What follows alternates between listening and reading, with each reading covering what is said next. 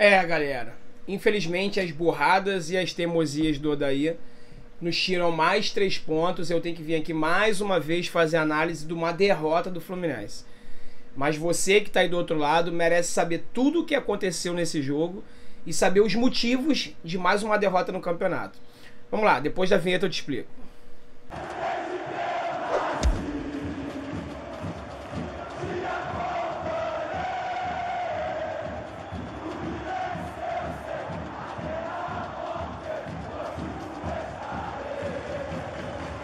Fala galera, sejam bem-vindos ao canal Sentimento Tricolor. Meu nome é André Luiz, sou personal trainer, tenho 40 anos, tricolor desde que nasci. Você que está chegando agora, assistindo esse vídeo, não conhecia o canal, apesar da gente estar tá vindo de uma derrota e gostar do nosso conteúdo, segue o canal, ativa as notificações, deixa o like aqui e dá essa força pra gente. Estamos prestes a alcançar 8 mil seguidores. Vamos tentar bater essa marca hoje? Você me ajuda? Vamos lá, galera. Conto com a ajuda de vocês, hein? Bom, pessoal, vamos direto. Como vocês sabem aqui no canal, papo é retíssimo. Eu sou um torcedor assim igual a vocês, não sou jornalista, não sou analista tático. Eu vou tentar para vocês, tentar passar para vocês. Eu fiz muitas anotações aqui. Vamos tentar juntos entender mais uma derrota do Fluminense no campeonato. Palmeiras 2, Fluminense 0. Palmeiras no segundo tempo meteu 2 a 0 e jogou de, no ritmo de treino. Como pode isso? Se o time do Palmeiras era considerado time praticamente reserva, com dois ou três jogadores titulares. Como pode isso? Alguns torcedores do Palmeiras, que entraram em contato comigo ontem, inclusive na live pós-jogo, falaram que alguns atletas que disputaram a partida ontem podem ser considerados do time C, ou seja, é a terceira opção naquela posição. Como pode terem vencido o Fluminense com tanta facilidade? Como pode o Fluminense estar jogando é, pela segunda partida seguida com times mistos ou reservas, assim como foi contra o Grêmio, contra o Palmeiras, vindo de semana cheia de treinamento, ou seja, o Fluminense está treinando a semana inteira, os outros clubes estão jogando quarto e domingo, então estão mais cansados fisicamente, sendo acometidos por Covid, lesão, convocação para a seleção, e mesmo assim, esses times fazerem partidas tão superiores a nós. Como é que pode isso? Com o Fluminense na semana inteira para treinar. Vamos lá. Vamos tentar analisar isso junto. O Odair Helman, mais uma vez, mais uma vez, comete erros em sequência. Erros em sequência. E uma coisa que me preocupa muito é que no jogo contra o Grêmio, ele assumiu a responsabilidade na entrevista coletiva pós-jogo. Ele veio à imprensa e falou que a responsabilidade era dele, que a culpa da derrota era dele, escalou mal, substituições que ele fez não deram certo. E eu ainda coloquei isso aqui no canal. Eu falei, pô, galera, é um ponto positivo que pelo menos ele está reconhecendo os erros que ele teve e não vai repetir, ele vai trabalhar durante a semana para corrigir. Mero engano meu. Ontem, quando acabou o jogo, na entrevista coletiva dele, ele falou que o Fluminense viu o controle total do primeiro tempo, que a derrota foi injusta, que o pênalti foi mal marcado, que aquilo fez diferença no resultado do jogo. É lógico que o pênalti marcado por Palmeiras fez diferença no resultado do jogo. Tirou o placar de zero e colocou um pro Palmeiras, é óbvio. E aquilo foi pênalti claro, galera. Sabe como eu costumo analisar se foi pênalti ou não contra o Fluminense? Se fosse ao contrário, aquela bola tivesse batido no braço do Scarpa, por exemplo, lá na área palmeirense, você que tá aí do outro lado ia querer que o pênalti fosse marcado a favor do Fluminense? A tua resposta diz tudo. Eu gostaria. Se aquela bola bate no braço, mais que o Wellington Silva não teve intenção nenhuma. Você vê que ele se protege, tenta se proteger, mas o braço esquerdo dele tá aberto, impede a passagem da bola. Pênalti claro. Segundo gol do Palmeiras que eu vi alguns torcedores pedindo impedimento, o Hudson tava lá na linha de fundo dando condições de jogo. Gol legal. Gol legal. Não tem que culpar o Wellington Silva, não tem que, comprar o, não tem que culpar o Hudson. Primeira vez na vida que eu vi o Wellington Silva jogando de lateral direito. Eu fiz essa observação nas minhas anotações aqui logo no início do jogo. Inacreditável. Ele colocou o Wellington Silva para ajudar na marcação ao Scarpa, ajudar o Igor Julião. Então o próprio Odair, com uma atitude dessa, ele reconhece que o Julião tem incapacidade na marcação. Ele tem incapacidade de se locomover, de andar. Para que, que esse cidadão nasceu? Para quem não serve para nada, ele é um ser totalmente inútil. Quando o Odair tira um atacante de lado, ele inverteu com o Michel Araújo, ou seja, ele não mexeu em uma posição, ele mexeu em duas. Porque ele tirou o Wellington Silva, onde rende melhor é por onde? Pela esquerda. Ele tirou o Michel Araújo, que rende melhor aonde? Pela direita. ele inverteu e acabou com os dois. Ele atrapalhou os dois jogadores, os dois lados. Se era para marcar o Scarpa ou jogar nas costas do Scarpa, porque o Wellington Silva não fez isso, ele jogou de lateral direito. Ele jogou de lateral direito. Vocês concordam comigo? Vocês assistiram o jogo, assim como eu. Se não concorda, deixa aqui nos comentários. O Wellington Silva, o time do Fluminense no primeiro tempo era uma bagunça. O Wellington Silva jogando de lateral direito, Hudson de atacante, Michel Araújo completamente perdido, porque ele já não tá vindo bem na direita. Na esquerda, então, completamente cego. Errou tudo que tentou, completamente tudo.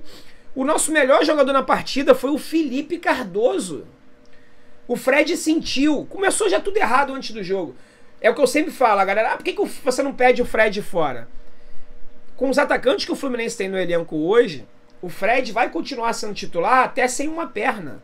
O Fred hoje não é nem 10, 15% do que ele já foi um dia. Tá acabando, tá chegando a hora do Fred pedir o bonezinho, mas a culpa não é dele não. E eu vejo a galera criticando o Fred de forma injusta, que o Fred não tem mais condição física. O Fred tá melhor fisicamente hoje do que estava em 2012, percentual de gordura baixíssimo.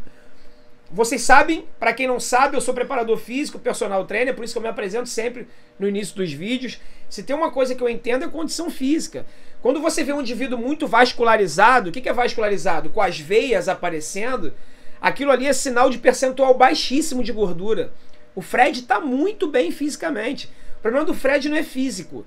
Ah, ele está fora de forma? Não está. O problema do Fred é que ele não tem mais explosão, não tem mais velocidade. Isso não é problema físico, isso é devido à idade. É normal. Um cara de 37 anos não vai ter a mesma explosão que o Evanilson tem com 20, 21. É normal. Enquanto tiver Felipe Cardoso, Caio Paulista, Luca no elenco, o Fred vai continuar sendo titular e não tem jeito. Só que o Fred torceu o tornozelo no início do. No início não, no aquecimento, antes do jogo. Aí ao invés do nosso treinador, Odair Helm, colocar o Luca, que deu uma entrevista coletiva, eu falei, pô, o cara foi pra entrevista coletiva, ele vai jogar declarou que foi justo ele não ter entrado em jogos antes, mas que agora ele está em forma, está pronto para ajudar os 90 minutos. Ele vai iniciar o jogo com Felipe Cardoso novamente. O garoto é esforçado, ele corre, ele se dedica, mas não é suficiente. E o nosso elenco é tão limitado tecnicamente que o nosso melhor jogador na partida foi o Felipe Cardoso. Foi o cara, pelo menos, que levou mais perigo ao gol adversário para vocês verem como a situação é grave no Fluminense. Então o Odaí errou na escalação oficial, é, inicial e errou nas, sub, nas, nas, substituições. Ele botou o, o, Marcos Paulo no lugar do Michel Araújo, né? Isso depois, ele começou com o Luiz Henrique no lugar do Wellington Silva. Depois que o Palmeiras já estava 2 a 0 aí ele bota o Luiz Henrique. Outro erro. Outro erro. Se ele acha que o Julião não tinha condições de marcar o, o traidor lá do Scarpa, ele colocasse um homem melhor de marcação, colocasse até o Hudson para jogar de lateral direito, para poder marcar o Scarpa. Se a preocupação do Odair era essa, agora tirar um jogador da ponta esquerda, deslocar ele para jogar de lateral direito, aquele pênalti cometido não intencional pelo Wellington Silva, você vê que é um cara que não tem cacuete de defesa. Se é um zagueiro ali, mete a cabeça na bola, mete o peito, quando o jogador do Palmeiras chuta, ele fica meio com medo, ele vai se proteger. Com a mão aqui. Só que o braço esquerdo dele tá um pouquinho afastado, a bola bate. Sabe por que ele cometeu aquele pênalti? Ele estava jogando de lateral direito, quase um defensor. É inacreditável. Inacreditável o que o Daí tentou fazer. Então não culpe o garoto, ele não tem culpa de nada. Ele tem que jogar lá no outro lado inverso do campo, tem que jogar do lado ponta esquerda. Tava jogando de lateral direito, defendendo, inacreditável. Michel Araújo nulo. Luiz Henrique era para ter começado jogando de um lado, é, jogando o Luca centralizado no lugar do. Ah, mas o Luca não é uma diária. Vocês viram a fome que o Luca entrou de bola ontem? O Luca entrou aos 36 do segundo tempo, de novo. De novo o Odaí colocando o cara na furada, já no final do jogo. Vocês viram a intensidade e a fome de bola que o Luca entrou? Errou quase tudo que tentou. Teve até um contra-ataque 3 contra 3, ao invés dele cortar para dentro, ele vai cortar para fora, perde a bola. A questão não é essa. A questão é jogador com vontade, jogador com intensidade. E ele, obviamente, tem mais técnica do que o Felipe Cardoso. Caio Paulista entrou, pra quê? Marcos Paulo entrou, pra quê? O cara andando em campo. Andando em campo. Então, galera, a nossa situação é muito preocupante. O Odaí tem que parar com essas teimosias dele. E uma coisa eu queria deixar aqui muito claro para vocês, muito claro. Não adianta, fora daí, ou melhor, vocês podem escrever aqui nos comentários, sem problema nenhum. Fora daí, muda treinador, Fluminense sem contratar, a gente já sabe disso tudo, tá? O Odair Helman é o melhor treinador do mundo? Óbvio que não, mas também não é o pior. Ele tá trabalhando com o elenco que deram para ele. Todo mundo tem culpa no cartório. Os menos culpados, na minha opinião, são os jogadores. Ah, André, você é maluco. Não sou não, sabe por quê? O cara não tem culpa dele ser ruim. Felipe Cardoso, o próprio Julião, que não é jogador de futebol, é, é esforçado, corre, se dedica. Ele erra tentando, mas ninguém botou, ele não botou arma na cabeça de ninguém e falou assim, ó, me contrata, eu tenho que ser titular desse time. Não, colocaram ele lá. Então, os jogadores são os menos culpados. Maior culpado, Odair Helma. Minto. Um dos culpados, ele não é o maior, não. Vamos pela ordem. Maior culpado, diretoria, nomes de Mário Bittencourt e Paulo Angione, foram que montaram esse elenco. Eu falo e repito todos os vídeos. O Mário bate no peito para bancar o Odair e bancar esse elenco. Ele falou que esse elenco estava dando resposta e que por isso que ele não ia contratar. A janela internacional fechou. Se nós formos contratar hoje, contratarmos hoje, a gente vai contratar jogador da Série B, C e D. Vocês conseguem ver algum jogador na Série B que vai vir resolver o problema do Fluminense, que vai ser a solução para os nossos problemas? Não tem, não se iluda. Não adianta, ah, o Manuelzinho do time X da Série B joga muito. Ele joga muito lá no time pequeno da Série B. Quando vem e veste a camisa do Fluminense, é uma situação completamente diferente. O cara pode vir para ajudar. Agora, para ser a solução dos nossos problemas, não se engane. Não adianta pedir contratação porque o Fluminense não vai contratar.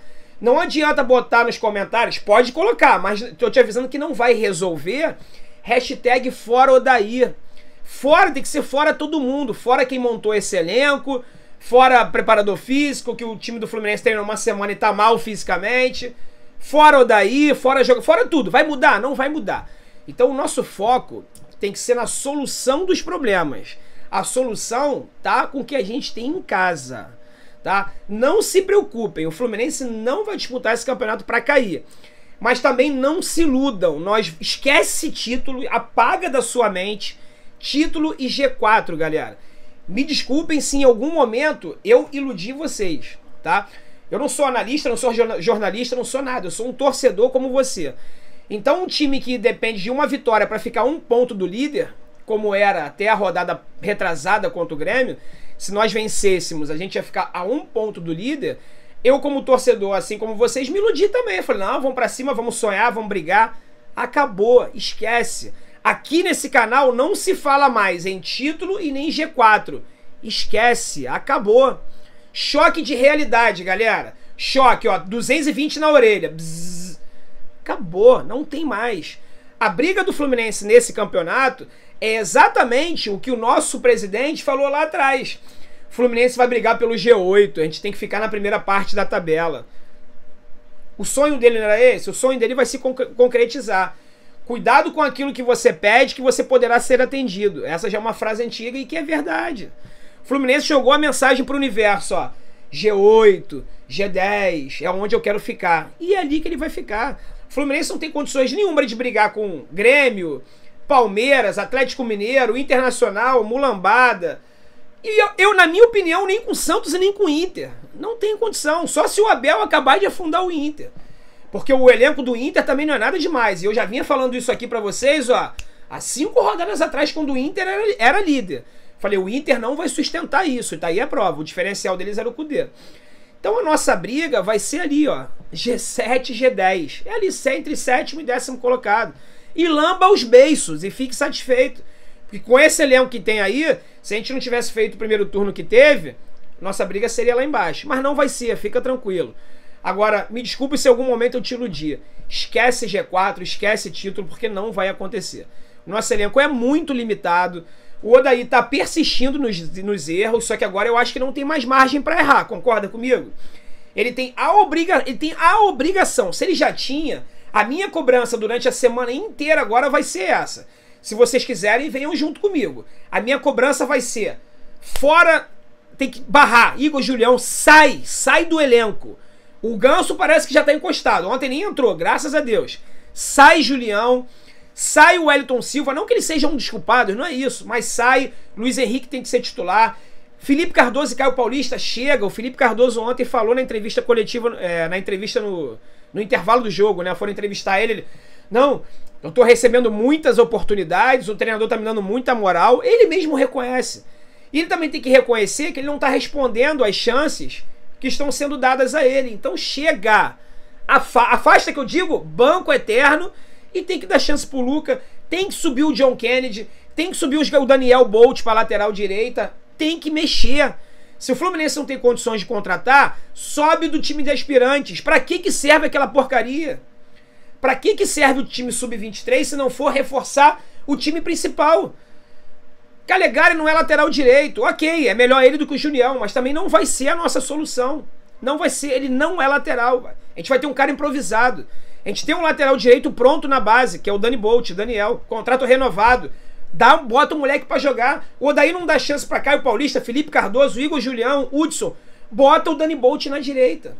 Bota o Luiz Henrique para jogar na frente, bota o Luca para jogar na frente. Tem que dar chances para novos jogadores. Porque esses caras que ele está oportunizando não estão respondendo. Acabou. Não dá mais. Beleza, galera? Deixar aqui um, um, elogio ao Muriel, que é um cara que eu critico muito. E se não fosse ele ontem, a nossa derrota seria pior. Eu só livro a cara ontem de dois jogadores: Muriel e Nino, que jogou na média dele no campeonato. Até o Lucas Claro tá caindo de produção. Ah, André, você tá inventando. Vou citar um lance, tiveram mais, hein? O lance que o, o Lucas Claro falha bizonhamente dentro da área, ele vai cortar a bola, se atrapalha todo, meio que fura a bola. A bola sobra no pé do jogador do Palmeiras que dá um pancadão e a bola bate no rosto do Muriel. O Muriel defende com a cara. Esse lance aí, por exemplo, foi um lance de falha do Lucas Claro. Falha que ele não vinha tendo antes. Então, até ele, que era o nosso melhor jogador no campeonato, um dos melhores, caindo de produção. Então, o único jogador que eu livro a cara ontem, os dois jogadores, é o Nino e o Muriel. O resto, de médio para baixo. Beleza, galera? Essa é a análise de mais um jogo, mais uma derrota. Vamos passar a semana agora pensando e tentando acrescentar algo de bom no Fluminense.